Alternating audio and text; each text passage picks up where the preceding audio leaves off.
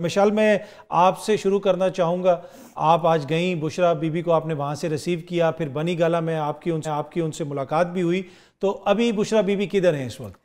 देखिए जी अभी इस टाइम बुशरा इमरान खान साहिबा पेशावर चली गई है। पेशावर चली ये पहले तो खबरें आ रही थी कि वो लाहौर जा रही हैं। जी वो क्योंकि जब वो अडियाला से निकली मैं उनके साथ ही थी। जी। तो हमें पता चला कि पिछले बीस दिन उन पर बहुत बुरे गुजरे।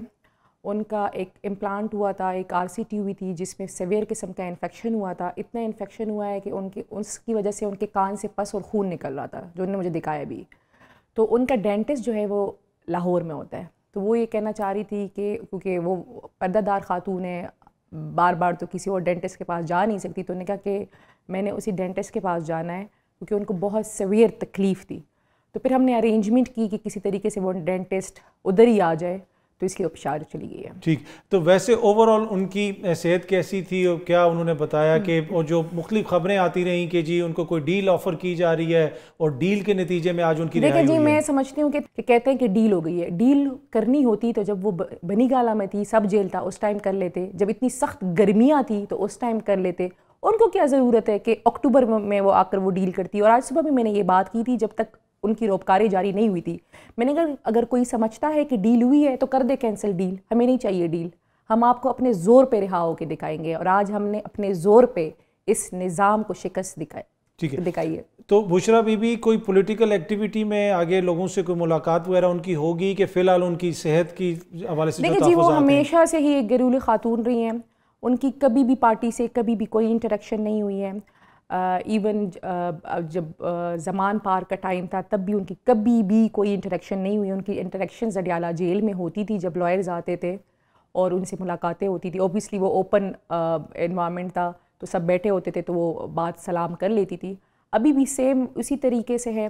ये बातें कर रहे डील की के साथ इनको ये सोचना चाहिए था कि 20 दिनों में उनकी खान साहब से मुलाकात नहीं हुई है। अच्छा, उस चीज़ का उन्होंने ज़िक्र किया जी आते साथ ही उन्होंने बताया कि उनकी खान साहब से मुलाकात नहीं हुई है। वो बिल्कुल कट ऑफ़ है उनको कोई पता नहीं है खान साहब कैसे हैं कैसे नहीं हैं।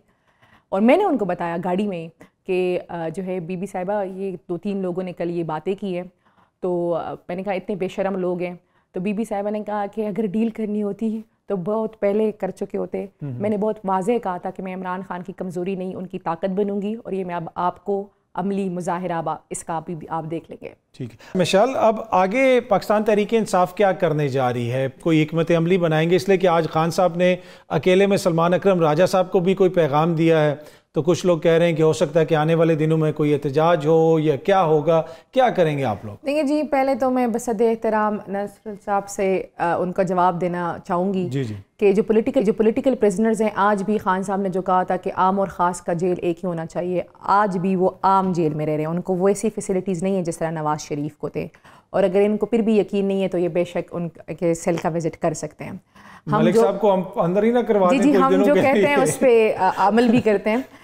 अभी मेरे ख्याल से जी फैसला कौन मोड़ आ गया या फैसले अदालतों में होंगे या फैसले सड़कों पर होंगे? लेकिन फ़ैसले होंगे। फ़ैसलों का टाइम आ चुका है। तो इन मुल्क में इंसाफ आएगा और आप अद, अदालती निज़ाम को भी बेहतर देखेंगे। क्योंकि ये जितना भी हो रहा है जिस तरीके से जुडिशल सिस्टम सबटैज हुआ है ये ज़ाती अनाव ने किया हुआ है। ज़ाती फ़ायदों ने किया था। और अब मेरे ख्याल से इन आने वाला दौर इंसाफ का होगा।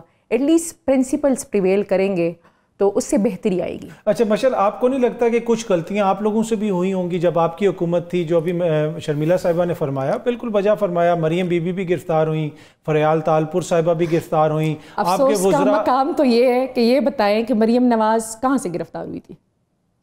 जेल से? नहीं जी कहाँ वो कहाँ पे थी कमरे में जहाँ पे उनका कमरा तोड़ा गया? कराची में थी ना जी। जी जी सिंध में किसकी गवर्नमेंट है? नैब की गिरफ्तारी की बात कर मैं वो मैं नैब की नहीं आप देखें सिंध में गवर्नमेंट किसकी थी? चले नैब था जो भी था गवर्नमेंट किसकी थी? वो तो इन्हीं की गवर्नमेंट थी। इन्हीं की गवर्नमेंट थी जो उन्होंने कहा था ना कि मेरे रूम का दरवाज़ा तोड़ा गया था। तो वो किन की गवर्नमेंट थी? इन्हीं की गवर्नमेंट थी इन्हीं के दौर में हुआ। और मैं ना आज बड़े फ़ख्र से ये बात करूँगी कि शुक्र अल्हम्दुलिल्लाह मैं खैबर पख्तूनख्वा से हूँ। जहाँ पे माओ बहनों बेटियों पे हाथ नहीं उठाया जाता। मुझे भी लोग कहते हैं कि इतने फस्ताइत का दौर गुजरा आप पे इतनी एफ़ आई आर हुई आप अरेस्ट क्यों नहीं होती? तो मैं कहती हूँ अटक के उस पर इंसाफ प्रिवेल करता है इसलिए मैं अरेस्ट नहीं होती।